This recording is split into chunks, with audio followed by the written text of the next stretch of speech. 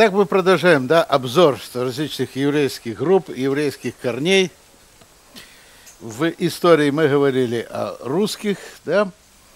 Э, теперь мы поговорим немножко об украинцах, потому что украинцы очень тесно связаны, украинская культура с еврейством, правда? Вот. И э, в особенности в Западной Украине это был один из таких крупных очагов еврейской культуры. И вы даже говорят, что украинские казаки, да, которые были антисемитами, то там тоже немало еврейских корней. Вы знаете, что э, украинские казаки это не только были украинцы, да, это люди, которые приходили из разных земель и из разных национальностей. Например, вот из земель, которые были в то время под властью турков, пришли такие роды, как апостолы. Апостолы, это э, они даже имели э, с последней, последней э, царской династии из Константинополя. Имели родство. Капнисты, Милорадовичи. Кто был Милорадович? Серб. Серб. Кто знает? Тамари. Кочубеи были крымскими татарами – Фридриховичи австрийцами, хотя Фридрихович звучит очень по-еврейски, да? Орлики и пасеки происходили из Чехии, а оказывается, один из подвижников Богдана Хмельницкого, Максим Кривонос, по происхождению был шотландцем. И среди казахской старшины были много людей еврейского происхождения. Поруховичи, Магировские перехресты, герцики – Герцики, Крыжановские, Марковичи, Перехресты Осиповы и некоторые другие. Во времена Гетмана Мазепы многие евреи влились в казахскую среду. Из рода Баруховичей происходил известный украинский государственный деятель Михаил Андреевич Барухович. Приказным атаманом времен Северной войны он при, э, принимал участие в походе под Азов и в польском походе. Михаил Андреевич, другой из Баруховичей, много жертвовал на храмы православные и построил Лубенский Мгарский монастырь и Успенскую Лютинскую церковь, где и был похоронен. Близкий к э, Гетману Мазепы был Павел Семенович Герцог, Герцик. Видите, Герцен, Герцев, да? Да, Герцик. Как и от Хетман Мазепа, уделял большое внимание строительству храмов, и на его средствах был построен Воздвиженский храм в ближних пещерах Киево-Печерской лавры. Его три сына, Григорий, Иван и Афанасий, были сторонники Гетмана Мазепы. После Полтавского поражения они эмигрировали в Бендеры. Были один из тех, кто остался верным Гетману до конца, и Григорий Герцог – стал генеральным Исаулом при Орлике. В 1719 году переехал из Стокгольма в Варшаву, где был похищен людьми русского посла, вывезен в Россию и заключен в Петропавловской крепости. Женами приверженцев Мазепы были дочери полтавского полковника Мария, воинского товарища Владимира Григорьевича Максимовича и Анна, жена генерального писаря Филиппа Орлика, Кристина – жена полковника Григория Ильича Новицкого, высланного в Сибирь, где он проповедовал христианство среди остяков и вагулов и оставил работу, посвященную этим народам. Основатель рода Крыжиновских был выкрещенный еврей Антон Степанович, сделавший головокружительную карьеру. Также род Марковичей. Это был тоже еврейский род. Я не буду сейчас подробно на них обстанавливаться. Кто, может, заинтересуется – вот здесь у меня есть. Вот, родственники Барабаша и других украинских гетманов. Под вопросом происхождения самого товарища Зиновия Михайловича Абданка. Кто такой Зиновий Михайлович Абданка? Да, тот человек, который известен у нас как Богдан Хмельницкий. Ну, Богдан – это у него имя, которое он взял вместо Зиновий – так как он тут имел с украинскими, то Зяма, понимаете, он как-то не котировался пришлось стать ему Богданом. Хмельницкий, он по фамилии э, своего родового Маенко, да, имения. Э, но что интересно, один из украинских историков э, назвал его из герба, из жидовского герба Абданков. Единственные евреи, которые имели в то, право, в то время право быть э, дворянами, это были караибы. И неудивительно, Абданг – это фамилия татарская, правда? И вы помните историю самого Хмельницкого. Он человек несколько раз менял веру. Вначале он был православным, да? Потом он закончил иезуитский колледж в Львове и принял унию. Уния – это такая ветвь православия, которая близка к католичеству. Позднее он занял довольно выдающийся пост во времена религиозных войн. Помните, была 30-летняя война, можете посчитать, когда она началась, а кончилась она в 1648 году. Это тяжелый для истории Украины и евреев год. И во время этой войны польские короли были родственниками французских королей. Помните, королева Медичи, вот один из ее сыновей даже был избран на польский престол. Но так как освободилось место э, в Париже, он поехал, э, принял королевство Парижа, где благополучно преждевременно то ли умер, то ли его отравили. Лучше бы он был среди поляков. Потому что ни одного польского короля не было никогда никаких покушений. А знаете почему? Они никому нужны не были. Всем заведовал Сейм.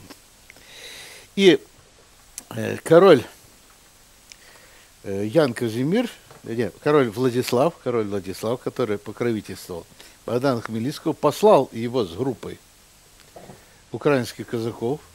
Где-то участвовало около 10 тысяч украинских казаков и где-то около 30 тысяч э, вообще польских войск во время этих войн.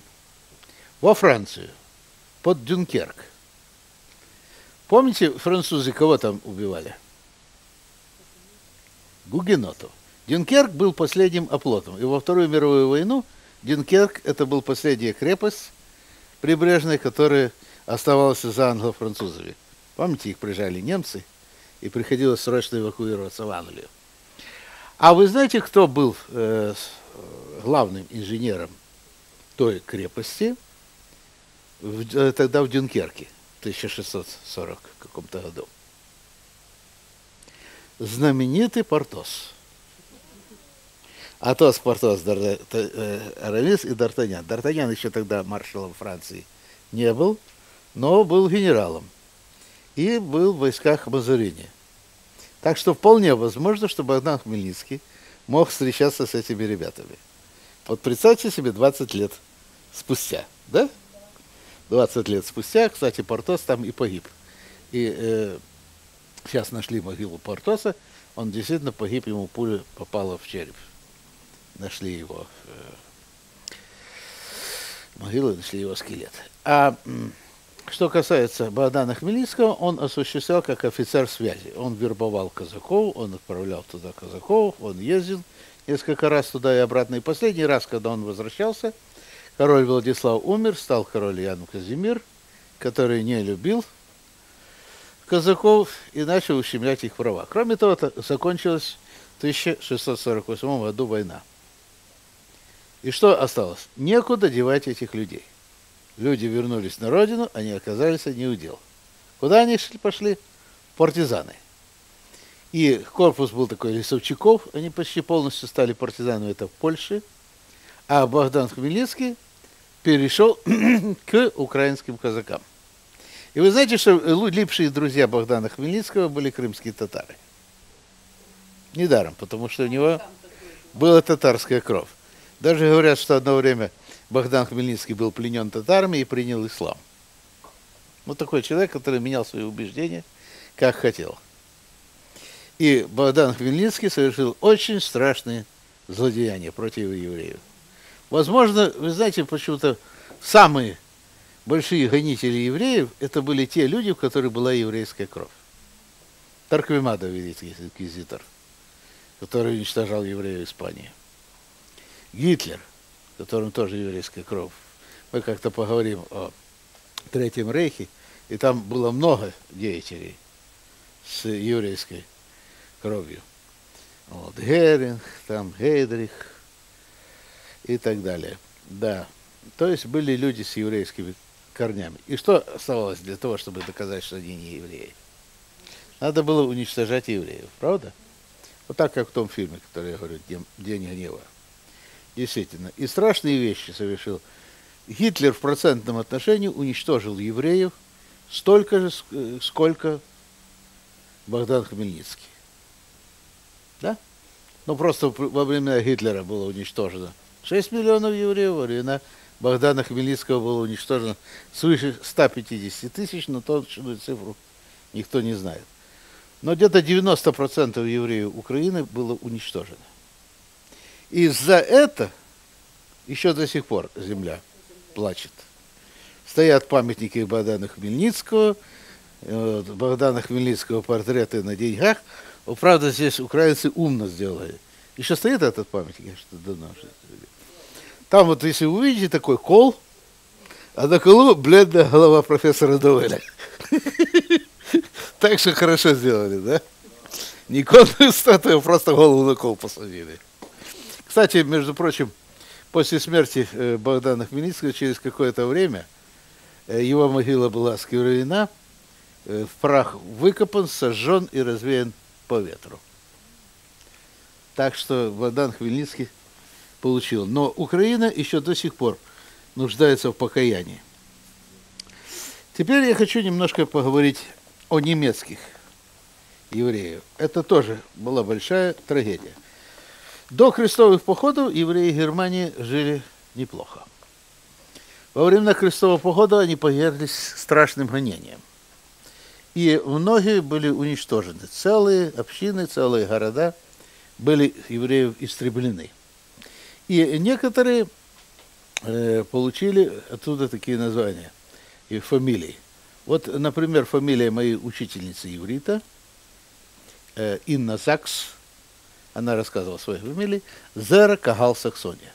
То есть в Саксонии были уничтожены все евреи, осталось немного. Они получили название «Семя общины Саксонии». И эти евреи бежали да, на Украину. То есть э, современные наши украинские евреи, они имеют и татарские корни, да, и ашкенадские корни от тех людей, которые ушли из Германии. Впоследствии Германии к евреям стали лучше относиться, а где-то в 18-19 веке к евреям стали относиться очень хорошо. И евреи в Германии, естественно, стали во всех выдающихся местах. Да? Ну, мы знаем Карла Маркса, который был вообще-то Мордыхай Леви. Потомки Карла Маркса, которые жили в России, были репрессированы, кстати, советской властью. И остался там сейчас один, может, уже умер ему за 80 лет. Тоже живет, живет не так, не столь отдаленных. Он потомок артиста э, Щепкина и э, актера Щепкина и Карла Марса прямой. То есть, э, действительно. Но, в общем-то и целом, в XIX веке с евреями обращались хорошо. Евреи э, был реформированный иудаизм, молились на немецком языке, а некоторые говорили, что мы немцы иудейского исповедания, а некоторые прямо говорили, мы немцы. И тут пришел Гитлер, да? Видите, если бы Гитлер не преследовал еврейских ученых, которые были в Германии, не было бы у американцев атомной бомбы. Правда? Вот. Если бы Гитлер не преследовал евреев, может быть, он как-то и сохранялся. В 1935 году были приняты расовые законы. И были выделены евреи и так называемые мишлинге. Запишите, мишленге. Мишлинге. Что это такое мишлинге? Мишлинге слово микст, да, смешивать на идише, на немецком. Это что? Смешанные. Это люди, которых была еврейская кровь. Мишлинге. Мишлинге. Гитлер различал мишлинги первой степени и второй степени. Мишлинге первой степени это тех, у кого отец или мать были евреи. Мишлинге второй степени – это у кого хотя бы один бабушка или один дедушка был еврей. То есть вот как я, например. В Израиль меня не пустят, потому что у меня дедушка еврей, да? Но если бы Гитлер сейчас был у власти, я бы спокойненько пошел в концентрационный лагерь. Э, очень есть интересный один фильм, тоже хотел бы как-то вам показать. Э, играет Ален Делон. Э, там получается так, что этот Ален Делон играет человека искусства, который ну, занимался тем, что перепродавал картины. Он дешево покупал во Франции во время оккупации Франции и Германии, дешево покупал у всех евреев, которые репрессированы картины, и продавал их дорого. И тут вдруг случайно он оказался в списках, и там точно с такой же имени и с точно с такой же фамилией еврей. Еврей это скрылся, а его полиция арестовала. Ему пришлось доказывать, что он не верблюд. Начинается вообще, кстати, фильм очень интересный. Вот, действительно, вот показывает, как людей просто всех буквально подвергают медицинскому свидетельствованию. Если у, него, э, если у этого человека признаки еврейской расы, вы представляете? Кошмар. Но во Франции были много еще и по происхождению арабы. Потому что, вы знаете, Франция владела многими колониями Северной Африки. И вот э, э этот человек собрал родословную со всех своих, но где-то там в Алжире у него была бабушка. И он посылает своего адвоката найти родословную его бабушки, которая с Алжира. И вот как раз в это время, значит, э, адвокат прибывает, а он уже там в э, таком лагере для перемещенных лиц, где происходит сортировка, и э, вызывает фамилии, которые отправляются в Германию на уничтожение. И его туда загоняет. Тут же бежит этот адвокат с этой бумажкой, кричит, что он не еврей, но он уже в вагоне, и он уезжает в Германию на смерть. Вот такие трагические вещи были, да? Вот. И Гитлер к концу своей, так сказать, карьеры, сначала он выявлял всех наполовину евреев, четверть евреев, затем он даже хотел выявить всех на одну восьмую часть евреев. Слава тебе, Господи! Вы знаете, что продлилось да, 7 лет вот такой власти с хрустальной ночи 1938 года по 45-й серьезных гонений евреев – и три с половиной года, с декабря 41 года, когда было принято решение о полном уничтожении евреев как нации, до этого евреи были в концлагерях, а уже тогда начали их истреблять в промышленных масштабах. И до мая 45 года, три с половиной года гонений. Кстати, Вагнер, который тоже был композитором евреем, еврейского происхождения, он первый сказал, евреев надо травить как тараканов. И Гитлер это сделал, потому что вот этот знаменитый газ-циклон, который используется в концентрационных лагерях, он был именно предназначен для уничтожения тараканов и различных насекомых. Можете себе представить?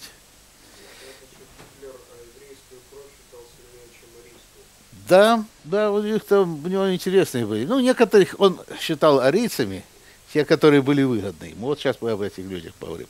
Кстати, с Вагнером еще произошел интересный такой случай. Знаете, Гитлер очень любил Вагнера. И когда взяли в Прагу, э, комендант немецкий, э, там была филармония, и были выставлены скульптуры всех композиторов. И немецкий комендант значит, э, решил выбросить фигуры всех еврейских композиторов. Но так как он плохо разбирался в этом, он велел сбросить и фигуру Вагнера, у которого была чисто еврейская внешность. Когда об этом узнали, его разжаловали, а позднее отправили на Восточный фронт. Вот такие вещи. Итак, Мишлинги. Мишлинги. Многие Мишлинги продолжали служить в Люфтваффе, в Верховте, Криксмарине и становились не только Солдатами, но и частью генералитета, даже на уровне командующих полками, дивизиями и армией. Многие мишлинги были награждены за храбрость железными крестами. 20 солдат и офицеров еврейского происхождения были удостоены высшей военной награды Третьего рейха рыцарского креста. Впрочем, многие ветераны вермахта жаловались, что начальство неохотно предоставляло к орденам и тянуло продвижение чине, помянуя об их еврейских предках. Однажды нацистская пресса поместила фотографию голубоглазого блондина в каске. Я вам как-нибудь принесу, покажите фотографию. Под снимком значился «Идеальный немецкий солдат». Этим арийским идеалом был боец Вермарта Вернер Гольдберг.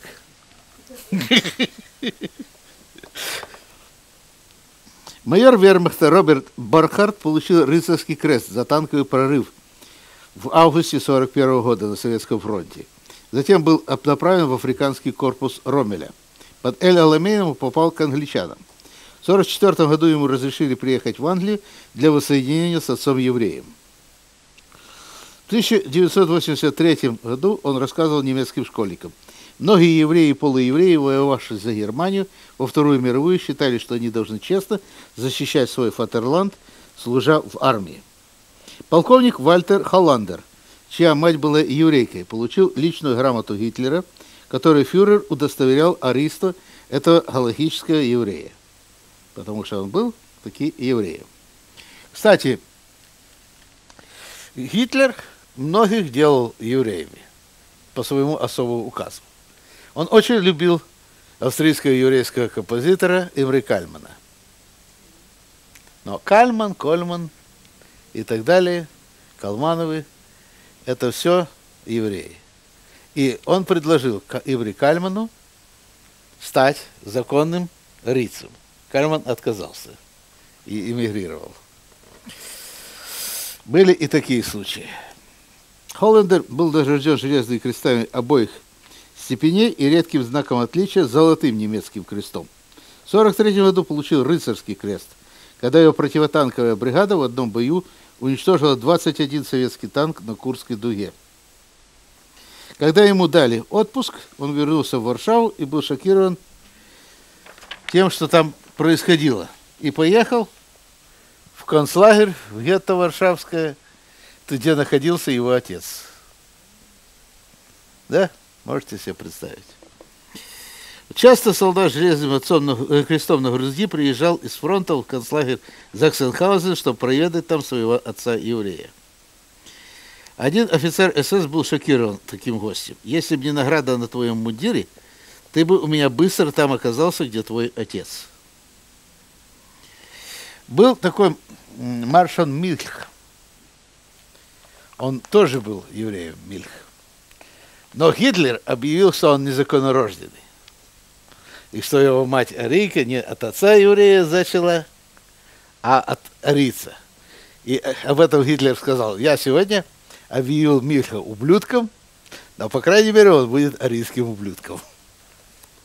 Вот такие вещи происходили. И многие из тех, которые потом выявляли, буквально их с Восточного фронта или с других мест отправляли в концлагеря.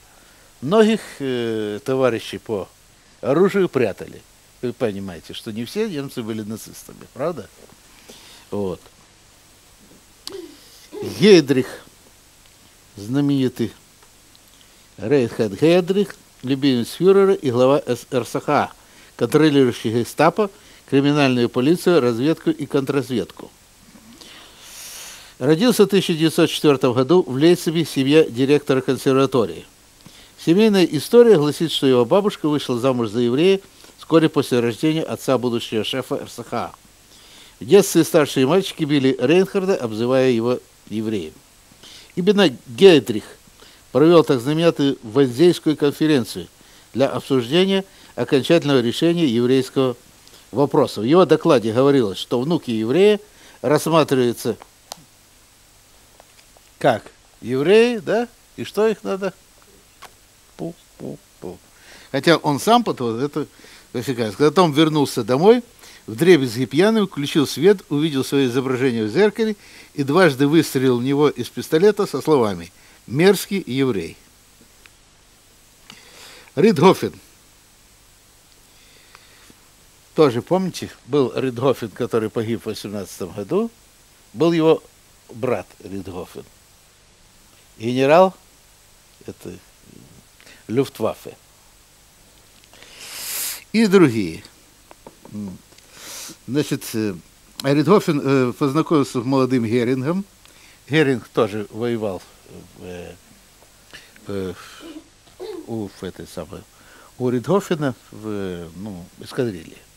Если вы, может быть, смотрели вот разные фильмы, вот почему-то немцы все красные, красные цвета окрашивают, да?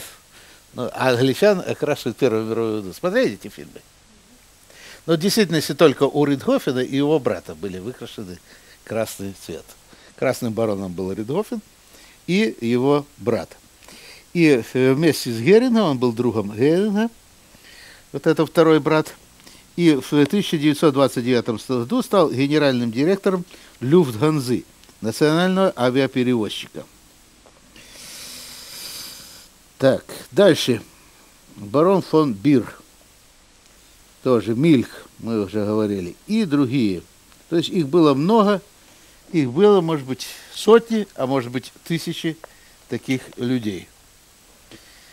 Видите, как страшно, да? Бояться каждый день, что ты еврей. Бояться каждый день, что тебя откроют.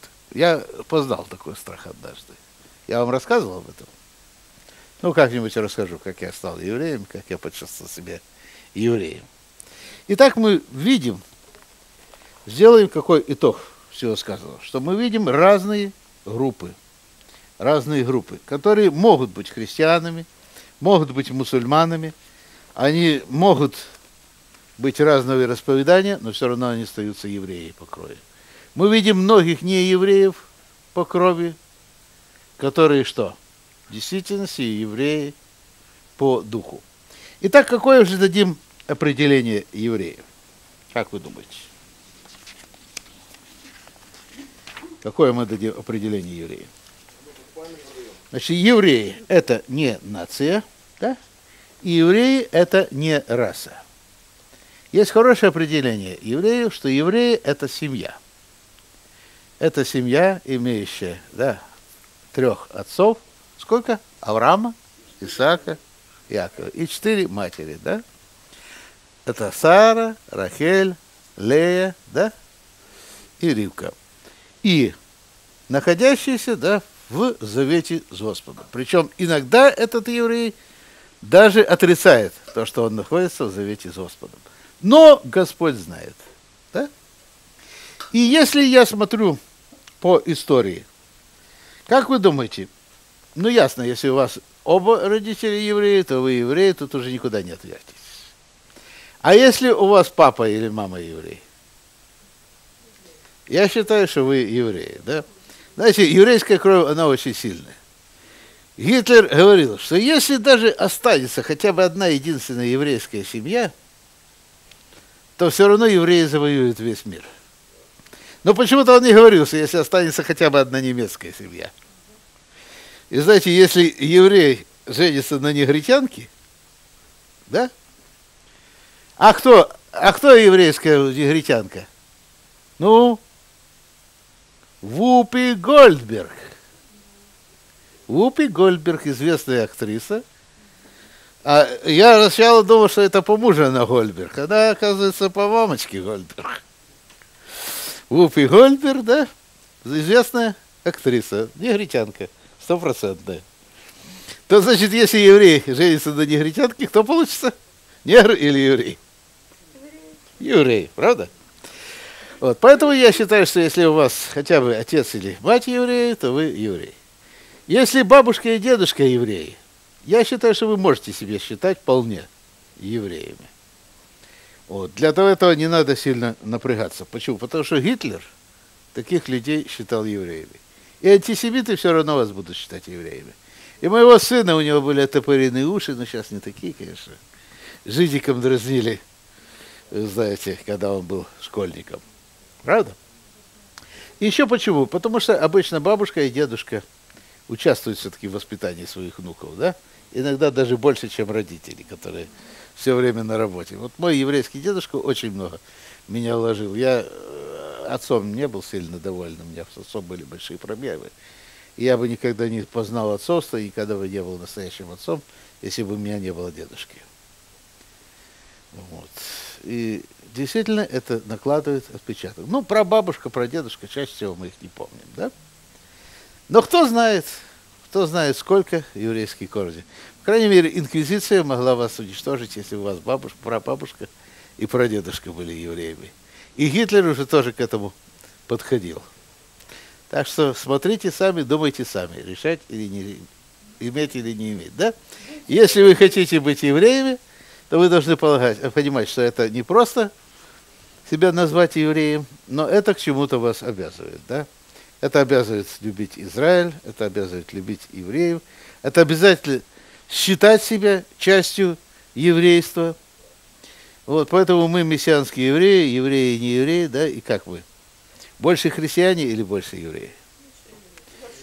Христиане могут принять нас с радостью. Евреи нас отталкивают, бьют ногами и пидают.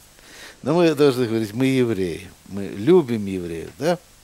И мы евреи и не евреи, потому что в любой еврейской общине всегда, во все времена, были евреи и не евреи. И во времена Авраама мы видим, да? И во времена Моисея это было, и во времена Егоша Беннуна, и в любое, в любое время есть евреи и не евреи. И мы должны помнить, что мы находимся в завете с Богом. И если человек даже отрицает этот завет, знаете, он не получает ту благодать этого завета, но все плохое на него будет литься. Ну, есть, помните, известная глава, да, 38 глава Второзакония, 28, да, 28 глава Второзакония, благословение и проклятие. Благословений мало, проклятий много. Но почему-то, несмотря на все проклятия, да, несмотря на все проклятия, оказывается, что евреи и потомки евреев благословлены. Даже если они ведут не сильно хороший образ жизни. Правда, странно?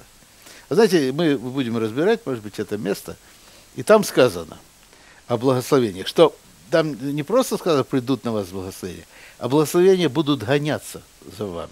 Это подлин, подлинный текст Торы. То есть евреи будут убегать от этих благословений и говорить, что они не евреи. Но благословения будут гоняться за евреями. Безусловно. Теперь поговорим, что означает имя нашего народа. Имя еврей. Да? Значит, есть несколько вариантов. Еврей или иври. Да? Еврей или иври. Так называют евреев потомков праотца Авраама. Авраам назван в Торе Авраам Га-Иври. Бытие 14 глава, 13 стих. То есть Авраам, потомок Эвера, правнука сына Ноаха Шема, является первым евреем. И слово «эвер» означает что? Переселился, перешел на другую сторону. Также сторона, берег означает и переселившийся. Да? Все мы переселенцы, евреи. И Авраам, вы помните, был первым переселенцем из реки Прат, Ефрат, и направился в Эрец Израиль. И от слова «иври» произошло также название языка. Что значит? Иврит. Иври означает еврей, а иврит означает еврейское. А почему же язык назван иврит, еврейское? Потому что на иврите, если мы говорим язык, лашон, да, это относится к органу нашему. Но если мы говорим к языку в культурном смысле, употребляется сафа, буквально губа. Поэтому раскатал губу еврей, и получился еврейская губа. Да? Поэтому еврейская, иврит. Иврит. И что же это слово во многих языках? Оно как перешло? Да? Еврей, гебрев, да? Некоторые говорят хабиру или хапиру, это евреи. Хотя нет, но часто это относится также и к... Э, видите, как интересно. Гебрев – это относится, в, мы говорим еврей, это мы говорим в смысле э, еврей в этническом смысле, да? То есть потомок Авраама. Но гебрев английский означает иудей. А если мы говорим жид, юдей, да, мы говорим об иудаизме, но джуда или жида, да, как э, по-английски, означает еврей э, в смысле этническом. То есть там все наоборот. Второе название – Израиль. Израиль – это тоже собственное имя. Кто получил имя Израиль? Яков, да. Израиль, борющийся с Богом, равняющийся на Бога, стремящийся к Богу. То есть некоторые говорят Иш-Раэль, человек, увидевший Бога. И третье название – Егуди. Егуди от слова Егуда. Егуда – это кто был? Сын Израиля, да? Сын Израиля. И родословно Иуды очень, кстати, интересная. И э, вы знаете, что Иуда стал, получил как бы первенство в Израиле. Почему? Первый был кто? Реувен. Второй был Шимон, третий был Леви. Но Реувен потерял э, свое, там сложно сказать, говорят, что он вошел э, к наложнице своего отца, вот, и таким образом э, осквернил постель. Может быть, он даже не имел с ней сексуальных отношений, но в те времена уединяться мужчине и женщине запрещалось, вы понимаете. Да. А второй были Шимон и Леви, но они что совершили? Да, в Шхеме они совершили убийство, массовое убийство людей, которые причем приняли иудаизм, даже обрезались, согласились, да? Это страшно. То есть они совершили геноцид над теми людьми, которые могли бы стать евреями. И за это они были лишены первенства. И следующим стал Игуда. И Игуда, что означает прославляющий Бога. Был такой тест, и на тесте я там разные вопросы задавал, да, и спрашиваю, кто такой Иуда, и многие написали предатель. Правильный ответ был лидер прославления, да? Потому что если у вас на тесте будет такой вопрос, не забудьте об этом. Игуда – это человек, славящий Господа, да? Да. Джуда Швили, Джуда Швили, да? И означает сын Иуды. Да, Джудит, Иудит и так далее. И есть названия, которые происходят от этих. Значит, на английском Hebrew и Джо. На немецком Гебрер, Джуда. Французский Гебру, Джуфи. Итальянский Эбрео и Гуэда, я не знаю, может быть, Жеда. Испанский Хебрео, Жудео. По-польски жид, по-венгерски жида. А шкидазы себя называют как идиш. Идиш – это тоже происходит от жид, да? Идиш, Иуда – идиш. Вот. Еще, как себя называют, аиды. Поэтому опера Аида означает еврейка. Правда? Еще раз говорю, что Егуди, Иудаис, Жид – это древнее общее славянское название еврея Жид. И не носила оскорбительного характера до XVIII века. Если определить так, по трем именам, записывайте определение. Моя жена говорит, я говорю вчера, жалуются мои студенты, что я очень много даю материала.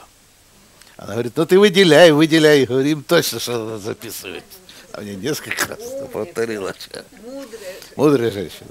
Так вот записывайте. Еврей – это человек, первое – отделенный Богом свой удел, то есть переселенный Богом. Да. Первое. Это человек, отделенный Богом свой удел и переселенный Богом. Да? Второе. Ну, кто у нас отделенный? Еврей, да? Еврей, да? Отделенный Богом свой удел. Мы говорим, что евреи, они не смешиваются с другими нациями, да? Хотя они принимают другие культуры, но все равно в них есть что-то, что их отличает от всего остального мира. Значит, еврей – это отделенный Богом свой удел, переселенный Богом. Второе. Равняющийся на Бога или борющийся, спорящий с Богом. Иногда евреи пытаются быть более святым, чем сам Господь, и выдумывают много законов, да, святее, чем Тора, а иногда евреи, наоборот, спорят и выступают против Бога. Но это такая характерная черта еврейского народа. Значит, второе определение – равняющийся на Бога или борющийся, в скобках спорящий с Богом. И третье – это что? Прославляющий Бога. Егуда. Первое – иври, то есть переселенный свое дел. Второе – Израиль, это человек, борющийся или спорящий с Богом. И Иуда – это человек, прославляющий Бога.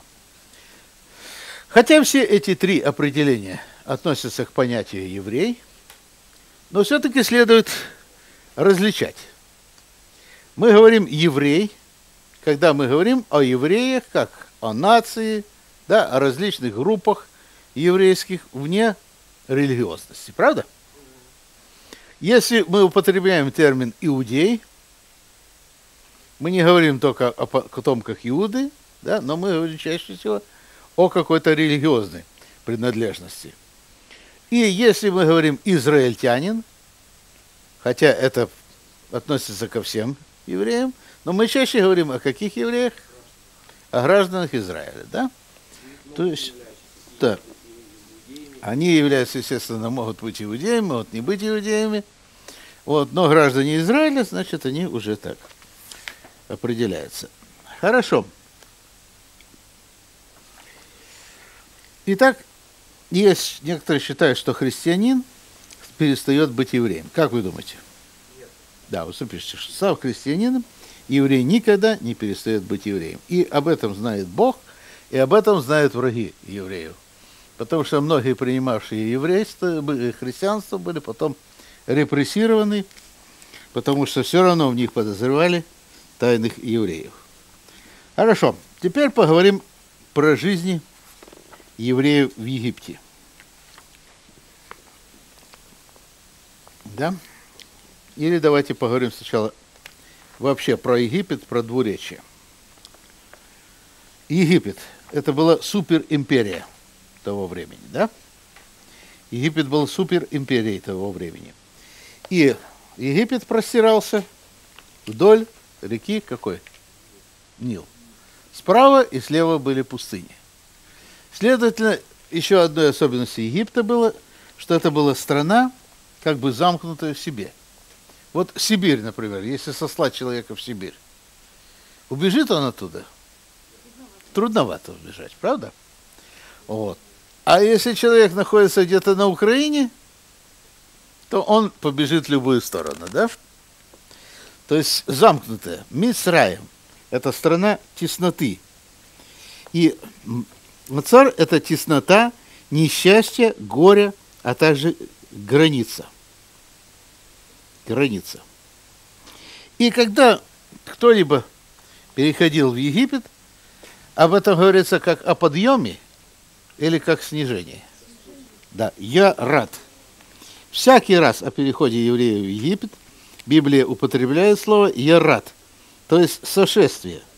И это может также подниматься как о потере высокого положения. Ну, например, Бытие, 12 глава, 10 стих. А об исходе, как говорится, Аллах. Да? Аллах, то есть восхождение. А те, кто делают это Аллах, да, называется Алим. Да, с одной стороны, Египет действительно ниже находится, да, чем Израиль. Израиль находится выше. Но С другой стороны, здесь говорится о духовном положении евреев. Кстати, в истории Египта был удивительный случай.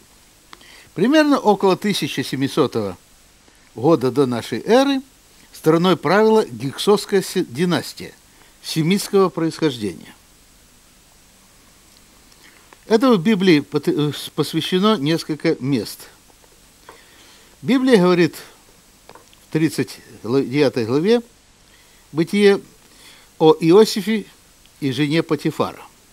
Вот интересно, что проводя раскопки, обнаружили папирус, который содержал историю о двух братьях, написанных примерно в то время, и в документе рассказывается почти то же самое, что в книге «Бытие», начиная от добродетели молодого человека, его ареста вследствие наговора женщины и кончая его возвышением до поста первого министра страны.